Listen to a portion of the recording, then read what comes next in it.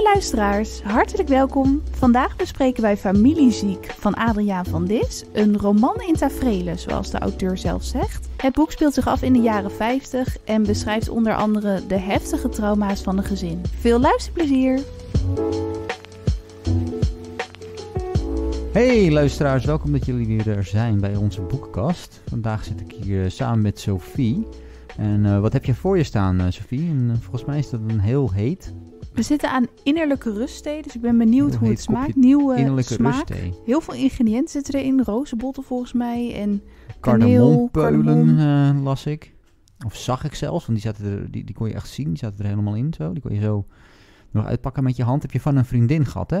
Ja, van ter Schelling, van zo'n leuk theewinkeltje, theezaakje. Dat van een eiland. Dus altijd leuk. Dus uh, ik vind dat zelf, krijg ook gelijk zin om allemaal van die grappige smaken thee te bestellen. Want we hadden ook wel eens haardvuurthee of uh, knuffelthee. Maar nu hebben we innerlijke rust. Ja, dat kunnen we misschien ook wel een beetje gebruiken. Een beetje innerlijke rust. Zo, Met voor deze de... koude herfstdagen. nou ja, heel koud is het niet. Dus het, het, lijkt wel een beetje te stormen bij ons op de achtergrond. Bij jullie thuis is hopelijk uh, lekker knus als jullie dit aan het luisteren zijn. Of in je trein. Of in je trein of op je werk. Nou ja, op je werk ben je het niet aan het luisteren, denk ik. Misschien wel. In je pauze. Mensen, in je pauze, misschien sommige mensen wel. Als je, koken. Ik veel, als je in een uh, fabriek aan het werk bent of, of als je iets aan ik, ik weet het ik vind vaak in de schoonmaker bent of zo, misschien heb je dan wel oortjes in en dan gewoon onze boekenkast. In plaats van een luisterboek dat je denkt, ik ga even een podcast luisteren. En dan luister je natuurlijk naar onze podcast. Dus dat zou best wel kunnen. Maar innerlijke rust, ja wel lekker. Helemaal van een eiland. Dat is wel grappig, want dat is ook een beetje ook het boek waar we het over hebben, speelt zich ook deels af op een soort van eiland, in een plaatsje eilandengroep. aan zee. Ja. ja. Nee, in een eilandengroep in, ja, in Indonesië. Ja, ja. Nederlands-Indië. Nederlands-Indië. Ja. Ja. dat is tegenwoordig Indonesië. Ja, nee, precies. Maar het speelt zich af in de jaren 50. Ja. Uh, familieziek. Adriaan van Dis is de auteur. Nog nooit niet eerder iets van hem besproken in deze podcastafleveringen. Nee. En, dus eerst um, we hem bespreken, hè? Ja. Is eigenlijk wel, um, dit is wel weer, dit is uh, Harry Mulisch en, en, Remco Kampert en noem maar allemaal op, zijn natuurlijk wel een beetje de, de grootheden van de Nederlandse literatuur, zou ik bijna willen zeggen. Dan zo is het een beetje in mijn hoofd. Ik, ik, ja, zeker. Hij is ook misschien, misschien omdat hij wat meer bekend is, omdat hij natuurlijk ook al veel op tv was of zo, dat het ook voor zorgt dat hij wat meer prominent aanwezig is.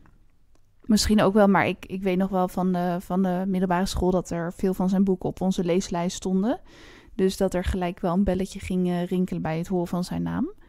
En volgens mij heb ik dit boek toen ook wel gelezen. Heel veel dingen uit het boek kwamen wel bekend voor ja, het zou wel goed kunnen. Het boek is verschenen in 2002 en ik heb zo'n gevoel dat ik dit wel een keer voor een literatuurmondeling of zo heb gelezen. Toen ik uh, op de middelbare school zat. Kende jij dit boek al? Uh, ik kende niet dit specifieke boek. Althans, we, hebben uh, laatst natuurlijk een, een, een tv-soort van, wat is het, een aflevering of een... Documentaire? Een, ja, het is een portret noemen ze het, dus het is iets korter dan een documentaire. Op NPO was het, was wel aanrader. Ja, gekeken over Adriaan van Dis. En toen kwam natuurlijk ook dit boek daar naar voren. Ja, dat hij ook langs ging op een school volgens mij om daarover te vertellen. Ja, dus uh, was ook een beetje een trigger voor ons om het, om het, toch maar te gaan lezen. Ik heb wel in het verleden ja. andere boeken van, van Adriaan gelezen, maar um, jij dus ook wel. Van A jij mag Adriaan zeggen. Ah, ik mag Adriaan zeggen. Meneer van Dis. De Wandelaar heb ik volgens mij gelezen. Ah, Oké, check. Ja, ik heb het gevoel dat dat zich gedeeltelijk in Parijs afspeelt. Nou, misschien heb ik dat niet helemaal goed, maar... In, ja, die, heeft, heeft hij die niet ook geschreven terwijl hij in Parijs woonde? Ja, nou, daar was ook een stukje over in de documentaire... dat hij daar ook uh, met heel veel liefde heeft gewoond. En toen, ja, dat, als iemand daar dan over vertelt... komen gelijk die herinneringen over het boek terug. En ik had dat ook met familieziek toen ik daarin begon te lezen... en de uh, meneer Java werd geïntroduceerd. Toen dacht ik gelijk, hé, hey, dit, uh, dit komt mij heel bekend voor. Ja. En um, ja, je bent er dus wel een beetje mee opgegroeid, maar voor het eerst dat jij familieziek uh, opende en ging lezen. Ja, mijn vader had wel behoorlijk wat, uh, wat van Adriaan van Dis in de, in de kast staan. Hij heeft ook heel wat uh, boeken op zijn naam staan. Ja. Hij schrijft nog steeds. Hij is begonnen in Precies. 1983. en hij is nog steeds aan het schrijven. En wat ook wel grappig is, in die docu zei hij dat hij zichzelf dus niet schrijver noemt. Dat ik echt denk, in mijn hoofd is het inderdaad een van de bekendste Nederlandse schrijvers. Maar ja, hoe hij het zelf zegt, het is voor hem een noodzakelijk kwaad of om ja, zijn gedachten te ordenen en uh, ja, niet krankzinnig te worden eigenlijk. Maar dit is natuurlijk typisch een, een, een, iemand die natuurlijk, en dat heeft natuurlijk ook de tv-programma's die hij in het verleden heeft gemaakt. Um, dit is natuurlijk, hij, hij dit, is echt, ik bedoel, wij lezen redelijk, uh, redelijk veel. Maar hij, ik heb het idee dat hij de hele dag aan het lezen is, zeg maar. Um, dat hij niet iets anders doet en dan ja, op een gegeven moment denk je van nou, dan kan ik het zelf ook of zo wel proberen. Ik heb het idee dat dat een beetje is hoe het gegaan is bij hem of zo. Op de een of andere manier komt het zo over mij. Dat hij eigenlijk heel erg fan is van lezen. Daarna veel lezers ook heeft geïnterviewd, of veel schrijvers natuurlijk heeft geïnterviewd. Uh, en ook uiteindelijk zelf is gaan schrijven. En onderdeel is geworden eigenlijk van, ja, van zijn eigen... Redacteur geweest ook bij belangrijke ja, ja, dat tijdschriften en zo. Precies, dat is natuurlijk oorspronkelijk zijn uh, oorspronkelijke ja. beroep natuurlijk. Is dat hij eigenlijk meer voor, uh, voor uh, het eigenlijk non-fictie voor tijdschriften en kranten en zo bezig was. En dus tv. En later is hij natuurlijk was echt literair werk gaan schrijven. Waaronder dus inderdaad Familieziek. En Familieziek is wel... Ja, het is een het is, kijk, het is echt een literair boek, zou ik willen zeggen. Er staat ook op ehm, de omslag een roman in tafereelen. Ja, een roman in tafereelen. Dat zegt al wel iets over de schrijfstijl. dat zegt wel wat over de schrijfstijl, denk ik. Want wat je denk wat, ons, wat we allebei opvielen, wat ons bij, al beide opviel, was natuurlijk dat je eigenlijk ja, bijna een soort van korte verhalen hebt die aan elkaar gelinkt zijn en dat vormt een geheel.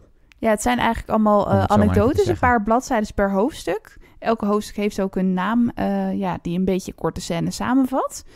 En ja, het gaat heel snel voorbij. Ja, het, het vliegt voorbij. Uh, ik weet niet echt of het op de hak op de tak springt, maar soms wel een beetje. De gebeurtenissen wel, maar er is qua onderliggende lijn en emoties, dat, dat is wel een rode draad. Ja, het probeert een emotie op te roepen in je. Een soort van, van gevoel uh, die je krijgt bij bepaalde scènes. Het is bijna... En de verhoudingen in, in het gezin. Ja, ja het voel, voor mij voelt het aan. Ik weet niet of jij dat ook had, maar een beetje als je het aan het, le eh, aan het lezen bent, eigenlijk het voelt bijna aan alsof je hoe je zelf ook dingen herinnert in het verleden, zeg maar. Het is niet zo dat je... Ja, zo wel, ja. Uh, dat je onthoudt van, oh ja, toch ging, stapte ik de auto in en toen reed ik naar die verjaardag en toen gebeurde dit. Nee, het enige wat je dan bijvoorbeeld onthoudt is dat... en toen kwam die en die tante binnen en die viel en die viel met een gezicht in de taart, zeg maar.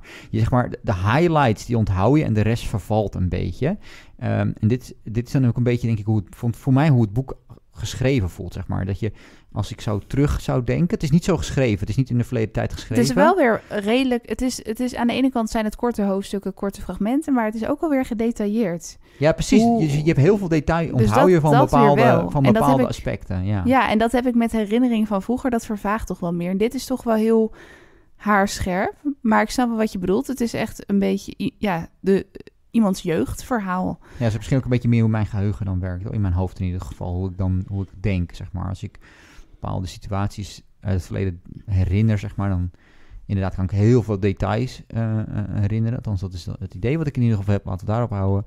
Uh, maar dan bijvoorbeeld hoe je dan in die situatie terecht bent gekomen, is vaak weer een beetje onduidelijk. En hoe het daarna is gegaan, is ook niet echt heel interessant. Want nou, ja, maar... ik kan me ook goed voorstellen dat Adriaan van Dis heel veel van zijn jeugd hierin heeft verwerkt. Want dat maakte wel een beetje op uit de interviews met hemzelf in die documentaire onder andere. Hoe zijn gezin in elkaar zat. En dat dat best wel overeenkomt met de jongen uit dit verhaal, uit familieziek. Ja, het is, het is denk ik niet autobiografisch, maar er zit wel heel veel van zijn eigen familie zit er in het verhaal geschreven, om het zo maar zijn te zeggen. Zijn eigen ervaringen, ja. Zijn eigen ervaringen, zijn eigen gezin. Hè, want uh, waar we het eigenlijk over hebben zijn dus eigenlijk uh, een jongetje met uh, drie zussen die niet dezelfde vader hebben. Nee. Als het jongetje. Klopt, drie. Hij heeft drie halfzussen. Ja. En die zijn samen met hun moeder uit ja, Nederlands-Indië gekomen. Ja. En, um, en dan heb je dus een vader um, die, die in dit geval dan meneer Java is. En ja, de vader van de zussen is eerder overleden. En de jongen, ze worden ook niet met naam in het boek aangeduid. Nee, de jongen is eigenlijk de zoon van de tweede man van moeder. Zo worden ze dus ook genoemd in het verhaal. En dat is meneer Java. Die wordt continu zo uh, aangeduid. En um, ja, meneer Java, de drie halfzussen en de moeder... die hebben allemaal verleden in de oorlog. Uh, ja, en dan specifiek Nederlands-Indië. Ja, en het jongetje dus niet. En... en dat is, specifiek, dat is eigenlijk ook precies hoe Adriaan van Dis is in, was in zijn gezin. Zo hij beschreef was hij het ook, ja. Ja, hij, was, hij is de enige in zijn hele gezin geweest die niet de oorlog heeft meegemaakt. En die alleen maar de verhalen heeft gehoord van uh, de oorlog. En dat, nou ja, uh, of juist de verhalen misschien niet heeft gehoord. Maar dat hij wel merkt dat er dat, trauma's ja. waren. Precies. En dat hij um, hij zei dat ook best wel mooi, maar ook tegelijkertijd heftig in dat interview. Van ja, ik was een beetje de schatbewaarder van de trauma's van mijn familie. Want hij was er heel erg in geïnteresseerd van. Zijn er foto's en hoe ging dat dan? Terwijl het voor zijn gezinsleden, ja, daar konden ze niet over praten. Of Dus ja, dat was, hij voelde zich een buitenstaander. En zo voelde ik me tijdens dit lezen soms ook wel. Omdat het best wel afstandelijk wordt beschreven. Alsof je het allemaal aan het observeren bent. Ja, Had jij dat ook? Of? Ja, je, je kijkt een beetje vanaf een, een afstandje soms. Ehm, ook omdat er geen naam in het verhaal gebruikt worden. Precies, ja. Creëert ook een beetje afstand. Ja, en het lastige, eh, wat interessante is dat die, dat voor mij in ieder geval, dat het, uh, dat het ondanks dat het soort van met afstand is geschreven, zeg maar, en dat de namen niet worden genoemd en noem maar allemaal op, dat het ondanks dat voel je, voel je toch het trauma of zo. Je voelt dat er iets is, zeg maar. Je voelt dat er iets speelt. Je voelt de, de ongemak Gelijk, in de lucht hangen. vanaf de eerste letter gewoon. Ja, dus dat, dat, dat, dat doet hij wel echt heel goed. En verder, ja, is dat dus wel een interessante uh, gebeurtenis. En eigenlijk ook gewoon door het hele boek heen komen mm. eigenlijk dan niet echt... Kan je nooit... Het voelt bijna inderdaad alsof het uit, vanuit, vanuit een kinderperspectief is geschreven. Je krijgt nooit helemaal de vinger erop... Ja, wat nou precies de reden, beweegredenen zijn van meneer Java en van die moeder en van die zussen en noem maar allemaal op. Wat vooral heel een beetje onduidelijk. Ja, je kan er zelf over nadenken als lezer. En wat vooral heel erg naar voren komt, is dat die band tussen de drie zussen en de moeder heel sterk is. Dat lees je gelijk in het eerste hoofdstuk bijvoorbeeld. En meneer Java, dat hij heel erg worstelt met allerlei gedachten en angsten. En dat hij heel afwezig is en ook weer heel geobsedeerd met de oorlog en continu naar de radio aan het luisteren is. Ja. Dus heel erg door zijn handelen te beschrijven, merk je aan alles dat hij met heel veel onverwerkte dingen zit. En dat je denkt, hoe kan iemand überhaupt in een huis zijn zonder hulp en begeleiding als je er zo aan toe bent. Dat vond ik wel heftig om te lezen. Ja, hij zit dus uh, werkeloos thuis eigenlijk, meneer Java. En um, is, is dus geobsedeerd met, uh, met, met oorlog, zoals je al zegt. Um, dus hij gaat ook, en dat vond ik wel, ja... Dus hij praat er juist alweer heel erg over, maar ja. op het inderdaad, ja... Hij is het dan over de atoombom en zo. Ja. Maar ik vond wel, ik vond wel echt heel, ja ja, moeilijk, tragisch, maar ook wel weer humoristisch of zo dan geschreven is. Dat hij dan dus naar, uh, naar een lokaal hotel gaat. En daar dan in de lobby gaat zitten. En dan weet ik wat, één of twee koppen koffie of zo wegdrinkt. Um, en dan alle kranten die daar liggen helemaal doorleest om alle informatie op te zuigen. Over de wereld, ja. Over de wereld. En dat het dan goedkoper is um, dan, uh, dan een abonnement nemen op al die kranten Ja, gewoon natuurlijk. één minimaal het goedkoopste kopje koffie bestellen... en dan de hele ja, dag daar zitten kranten lezen. Ja, en, dan, uh, en dat iedereen dat ook een zekere hoogte dan gedoogt. Later krijgt dat nog wel een staartje, waar ik, ja. wat we misschien niet, niet gaan verklappen, maar het is nog wel, uh, vond ik nog wel ironisch. Um, maar wel, ja, wel, wel, wel, dat, ja, enorm grappig geschreven. Er zit ook wel wat humor namelijk in, vind ik. Ja, nou ja, toen maar ik dus ook... tragisch ook. Ja, het is tegelijkertijd tragisch en humoristisch. Maar dat vond ik ook toen ik de schrijver in die documentaire zag. Hij heeft zoveel droge humor, ook hoe hij op vragen reageert. En dat merk je ook best wel als je dit boek aan het lezen bent. Dat hij soms gewoon dingen heel ja, komisch vertelt. Um, ja, maar dat er al, van alles um, mis is dat er heel veel ellende is bij deze ja. mensen. Ja, maar hij gaat er wel bijna spottend mee om in sommige gevallen. Soms hè? wel. We hebben die meneer Java, die leert dus het jongetje heel precies hoe die moet schrijven. Schuine letters, mooie ronde pogingen. Ja, want hij gaat en, eerst en, niet naar school, hij krijgt slingers, echt uh, thuisonderwijs. Ja, ja, en het moet helemaal mooi en gaaf en natrekken. En dat moet, ja, dat moet met krullen en dat moet sieren en dan mooi. Nou, daar gaat hij heel, heel diep op in. Nou, dan ga je daar helemaal in mee. En dan, nou weet ik wel, misschien een paar hoofdstukken later heb ik het idee. Um, komt hij dan, dus die jongen moet hij toch naar school. En ja, dan krijgt hij alleen maar slechte cijfers. Dus omdat iedereen omdat hij rechtop moet schrijven. Wat doet hij nou? Hoe Ja. schrijft die jongen nou? Wat is hij aan het doen? Weet je wel? Dus het is heel het traditionele manier van, van schrijven die dus die vader heeft overgedragen aan hem. En die jongen, en dat is natuurlijk wat, precies wat je dan krijgt, is dat die jongen tussen wal en schip valt. Hè? Hij komt op school niet mee, want daar is hij een buitenbeentje. En thuis komt hij ook niet mee. Hij durft niet tegen zijn vader eigenlijk te zeggen dat hij dus slechte cijfers krijgt voor zijn schrijfstijl. Nou ja, en die vader voelt zich echt verraden als hij erachter komt dat hij niet meer schuin schrijft, maar dat hij per ongeluk een keer heeft geschreven zoals het op school Ja. moet. Want op een gegeven moment haal je eigenlijk... Hè, en dat, dat, dat schuine schrijven en dat rechte schrijven is eigenlijk natuurlijk een beetje een synoniem voor... Ja, voor cultuur, voor, voor doen en laten. Hè. Net wat je natuurlijk veel ziet bij hè, bijvoorbeeld eh, eh, eh, Turkse meiden... die dan met een hoofddoek op thuis moeten lopen... en dan op schoolplein zonder hoofddoek. En op een gegeven moment ziet een familielid dat. Nou, hè, spanning en gedoe.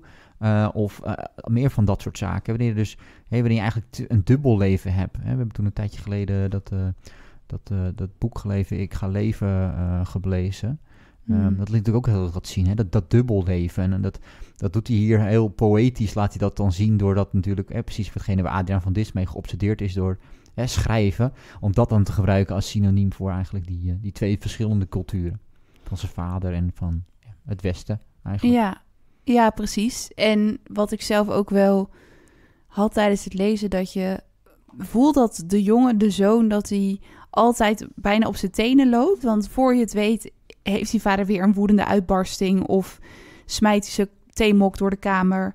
Maar aan de ene kant heeft hij heel veel liefde en bewondering voor zijn vader, kijkt hij heel erg naar hem op en wil hij alles goed doen. Ook deels weer uit angst dat er een uitbarsting komt. En dat vond ik wel heel beklemmend of zo. Die sfeer kwam wel goed over. Ja, dat is ook iets wat je heel veel ziet. Zo in, eh, onberekenbare ouder, ja, dat, dat is gewoon heel, ja, ja, dat is ook heel moeilijk. heel maar. En ik denk dat het deels zal het door het trauma zijn van die man, maar deels natuurlijk ook gewoon eh, een, een, ja, bijna een persoonlijkheidsstoornis, of je dit zou willen noemen, van die vader. Ehm, hè, er zijn natuurlijk heel veel van dat soort mm, ouders, jammer genoeg, ja, die, eh, of, of niet per se ouders, dus ook gewoon mensen, eh, gewoon eh, kennis of wat ook zijn, die gewoon, ja, niet, die, die gewoon eh, niet, niet helemaal eh, zuiver zijn. Op zo'n Nee, maar ik had hier wel heel erg het gevoel dat het heel erg voortkomt uit zijn oorlogstrauma's. Ja, ja, ik, ik, ik weet, weet ik niet Zo helemaal. werd het geschreven, maar het kan, Ja, ja, nou kijk, ik denk dat oorlogstrauma's er wel mee te maken eh, hebben, maar ik, ik weet niet helemaal of dat het, het, het volledige verhaal is. Hè? Want kijk, uiteindelijk die moeder, die moeder en, nee, maar als je ook in het verhaal kijkt, die moeder en die vader hebben allebei Ja, verschrikkelijke dingen meegemaakt. in de maar oorlog, het is nog ja, wel zo gaan er natuurlijk anders dat, mee om. dat ze er heel anders mee omgaan. Dus je ziet wel dat die persoonlijke eh, neiging of die persoonlijke problemen die misschien die karakters daarvoor al hadden, of die gewoon in het aard van het beestje zitten, dat die wel zorgen dat Ja. het op een andere manier geuit wordt. Ja, dus die, die moeder die, die lijkt wat killer en wat afstandelijker te zijn in sommige situaties. Maar ook zo liefdeloos tegenover Precies. haar zoon. Hè, die raakt haar zoon volgens mij niet aan, hè, of, of zo goed als niet. Hè, zeg maar, ze knuffelt niet of ze doet dat niet. Hè, ze geeft geen, even geen zoen of zo. en het die- is nooit goed wat hij doet. Het is nooit goed, dus die houdt heel erg die afstand. En die vader die is juist heel erg bezig eigenlijk om eigenlijk zijn eigen falen, wat hij gevoel, gevoelsmatig heeft over zijn leven, om te zorgen dat zijn zoon dat dan overkomt. Hè? Dus dat eigenlijk zijn, zijn zoon gaat presteren ehm, voor eigenlijk het falen wat hij gedaan heeft. En dat wordt een soort van obsessie. En ondertussen heb je nog die obsessie dan met, met, met, met, met de bom, met oorlogen die nu er, eh, op dat moment dan in de jaren 50 gaande zijn. Maar, dus het, dat, is, dat, dat verscheurt eigenlijk dat hele gezin. En dat zijn ook dan een beetje eigenlijk de hoofdkarakters, hè, denk ik. hè. dus dat zijn eigenlijk de hoofdkarakters. We hebben nog wel wat andere karakters. eh, wat buren en nog wat andere mensen. Maar dat zijn wel een beetje... christelijke de- tante die voorbij komt. En je Ja. merkt ook soms bij vlagen dat, eh, ja, lees je over de waternoods, eh, waternoodramp indirect. eh, dat rond 1953. En ook de ooms en tantes waar de zoon op een gegeven moment heen gaat. Omdat hij volgens mij is hij dan een beetje onder, ja, onhandelbaar geworden. En dan wordt hij gewoon weggestuurd. Volgens mij naar familie van zijn moeder of zo ergens ja, dan gaat hij op een gegeven Nederland. moment voor nog Brabant waar hij heen moet. Oh ja. Om dan eh, daar bij een boerderij te gaan om eventjes eh, heropgevoed te worden. Want het gaat allemaal niet meer met die jongen. Maar dat, Ja, ja, dat dat, pakt niet helemaal natuurlijk. goed uit, geloof ik. eh. Daar, Nee. nee. Ik heb niet het idee dat Adriaan van Dis opkijkt tegen boeren. Laten we het daarop houden. Het was nogal een... eh, Of het was gewoon een beetje een manier om het verschil in families uit te leggen. Ja, natuurlijk, ja, goed. En ik denk dat boer- zeker boeren in de jaren 50 zal misschien ook nog wel enigszins wat, eh, wat meer eh, achterhaald zijn dan dat de, dat de hippies waren in de grote steden, om het zo maar te zeggen, tien jaar later. Maar ehm, ja, ik, word, die Ik worden, weet het niet, maar- flink, wordt flink, wordt, eh, wordt ja. Maar niet. dat komt ook heel erg omdat die jongen die daar zit, die heeft natuurlijk alles gehoord van meneer Java, van zijn vader. En die boeren die hebben echt een totaal andere kijk op hoe het allemaal gaat en over de eh, president van Indië en zo. Die kijken er allemaal heel anders naar. Ja, En dat botst dan heel erg. precies. Dus het is wel, ja, dus heb je eigenlijk nog weer een andere cultuur en een beetje die mengpot, hè, wat er allemaal eh, gebeurt. Maar wat vond je ervan om het te lezen? Die korte fragmenten, maar toch een heel heftig verhaal. Een heel Ja, het is heel apart. Want als je eigenlijk, als je, ehm, als je dus moment van moment... Ik zat soms echt, eh, en dat, dat is het mooie aan Adriaan van Dis, vind ik dan... is dat hij wel echt mooie zinnen... En, en, en, en echt bijna, soms zijn het bijna gedichten hè, die je aan het lezen Bijna bent. poëtisch. Het is heel poëtisch. Het is echt heel mooi geschreven. En dan, ehm, dan bijna, ben je bijna meer bezig met hoe het is, eh, Ja, hoe iets beschreven wordt dan eigenlijk dan wat er nou eigenlijk gebeurt. Of wat, wat de impact heeft. Uh, je voelt gewoon dat hij heel, ik weet niet of het zo is voor hem aanvoelt, maar alsof hij heel makkelijk schrijft, alsof het zo uit zijn pen vloeit. Je hebt geen kromme zin. Nee, het is inderdaad gewoon mooi opgeschreven en heel, maar ook weer niet hele lange zin. Het leest gewoon wel ook weer lekker weg tegelijkertijd. Het is ja, een ik beetje... moet ooit denken aan een, aan een interview, wat ik, dat is echt al heel lang geleden, waar dan iemand, um, Adriaan van Dissen, beschuldigt van dat hij te lange zinnen maakt in zijn boek. Oh! En dan, uh, dan gaat Adriaan van Dis gaat dan helemaal, uh, nou ja, uit zijn plaat is misschien een beetje overdreven, maar die gaat dan, die gaat dan eigenlijk de eerste, de eerste twee hoofdstukken of zo uh, um, um, gewoon uit zijn hoofd voorlezen. Oh ja. Wat ook wel, fantastisch is om te zien dan. En dan gaat hij iedere keer zeggen, punt. En punt. Want hij maakt inderdaad helemaal niet zulke lange, nee. heel, niet hele ingewikkelde zinnen. Het is niet dat je denkt, uh, drie, uh, drie regels later staat pas een punt. Nee, dat leest, heel erg mee. Het leest eigenlijk best wel, best wel, best wel goed weg. Het enige wat, je, wat ik daarmee had soms, en dat is misschien meer mijn eigen tekortkoming, maar dat je dan zo bezig bent met die, met die, met die woorden en met die zinnen en hoe dat dan gaat, dat uiteindelijk soms wel eens een beetje het, het, het algehele, het grotere verhaal wat op de achtergrond uh, raakt of zo. Ik had dat ook. Ik was, soms had ik misschien het idee van, wij luisteren natuurlijk heel vaak boeken. Ik, ja, dat is wat ik denk ook mijn eigen gebrek misschien, maar ik ik was soms een beetje de draad van het verhaal kwijt. Ook omdat er best wel snel van scène naar scène werd geschakeld. Toen dacht ik, oh, we zijn nu in het hotel. Oh, we zijn nu op de boerderij, weet je wel. Zo ging het. En soms ja, raakte ik een beetje verstrikt in het verhaal van waar zijn we nu en welke dag is het. Dat, dat, ja, het, daardoor kwam het verhaal niet helemaal bij me binnen als een mokerslag of zo. Ik vond het wel heel... Het is een ontroerend heftig verhaal. Maar ik voelde toch een beetje afstand terwijl ik het aan het lezen was. Ja, ik durf bijna niet te zeggen, omdat het echt zo'n klassieker is. Nou ja, kijk. Maar ja. Wat natuurlijk het hele. Daarom, het heet natuurlijk ook uh, een roman in taferelen. Of 60 taferelen of wat dan ook. Het zijn ja, 60 hoofdstukken. Daar moest ik gewoon best wel aan wennen. Nou, kijk, dat is natuurlijk eigenlijk wat het is. Het zijn eigenlijk allemaal korte verhalen die uiteindelijk wel een, een, een, een, een geheel vormen. Maar hij is denk ik heel veel bezig geweest om die, om die stukjes om die mozaïek, om die heel mooi te maken. Uh, dus al die stukjes moeten gewoon heel mooi zijn. En al die zinnen en al die... En dan inderdaad is het wat minder een soort van één verhaal. Uiteindelijk is het daar ook minder... Als je, als, je, als, je, als je de schrijfstijl eruit zou halen en je zou zeggen... nou, ik maak hier gewoon een plat verhaal van... dan is het wel een oké verhaal, maar is het niet heel memorabel, om het zo maar te zeggen. Zou ik ja, het is vooral bijna. natuurlijk omdat het um, achter de ogenschijnlijk simpele scènes gaat heel veel schuil, zeg maar. Die, die oorlogstrauma's waar ze mee kampen en, en ja, ook die liefde die die mist als zijn moeder en zo. Dat, dat uh, schijnt er wel heel erg doorheen. Dus dat vind ik er heel goed aan. Alleen soms, door, doordat ze heel erg feitelijk beschrijven wat ze aan het doen zijn, uh, ja, raak ik uh, soms een klein beetje, um, ja, verslap mijn aandacht een beetje of zo. Ja. Dat had ik soms. En normaal gesproken hebben we het natuurlijk over, en dat hebben we, niet, hebben, we het hebben, hebben we wel eens boeken die dan verfilmd zijn. Dit is een beetje een, een unieke. Deze is dan niet, als het goed is, niet verfilmd in ieder geval. Nog niet weten. gevonden, maar het zou kunnen. Zo ja, uh, laat het maar weten. Er is wel maar... een stripboekversie van gemaakt, of een comic, of hoe je het zou willen noemen. Dat is wel echt gaaf. Dat is wel heel gaaf. Ik heb er, ik heb niet de hele comic gelezen, ik heb er een stukje van gezien. Het zag er wel heel mooi uit, uh, moet Wat ik bekennen. Ja.